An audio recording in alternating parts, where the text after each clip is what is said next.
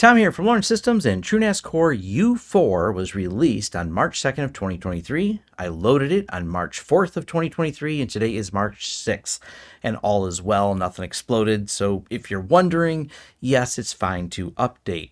I also want to remind people that boot environments are still a thing on both TrueNAS Core and TrueNAS Scale. So if you ever have an update that just, well, doesn't work, you go back and reboot and choose the previous boot environment. That's pretty simple.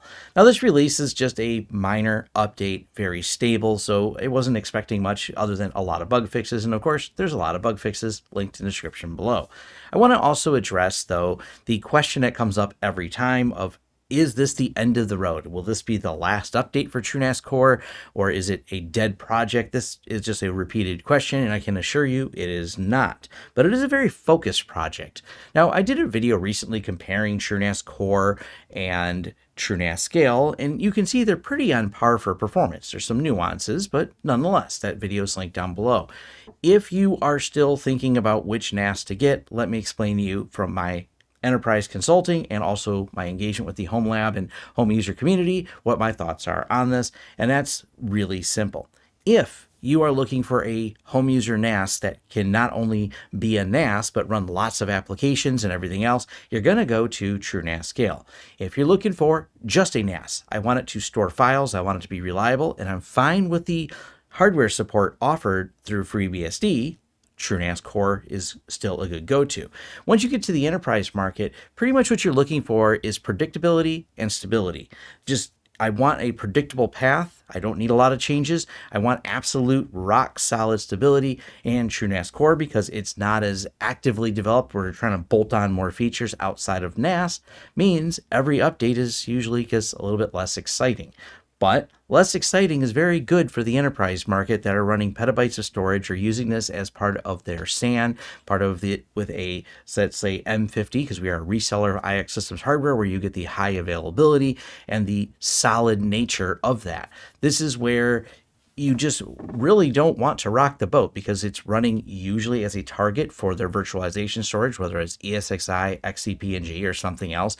And companies just want predictable that if there's an update, it may fix some little bug they have with the UI, which actually a lot of these bug fixes are small little UI elements and, you know, minor nuances, but that's fine because what we really want is to not have our whole servers go down or worry about any stability problem. They're not worried about extra applications. They're not worried about adding some extra functionality to it.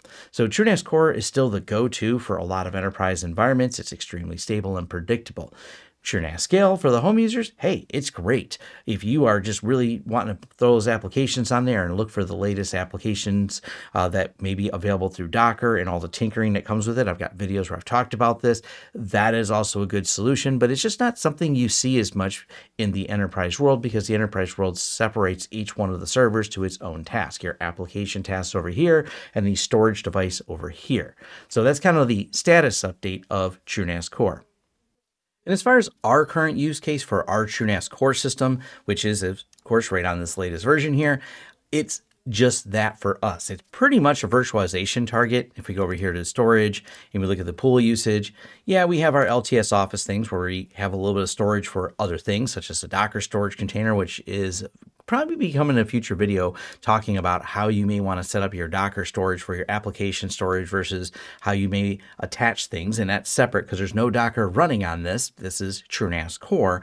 But we have all our tools folders. We have our Xen folders here, which are related to the iSCSI folders, the Xen ISO storage, offsite backups, production backups. Now, as far as interoperability, yes, you can have mixed environments. That's still working perfectly fine. That's of the reason when I load these, I wait a couple days to make sure I had no issues replicating because each of these, this S3 Synology Hyper Backup, because yes, we do synchronize our Synologies to this, once again, just as a backup target as an S3 emulation using MinIO.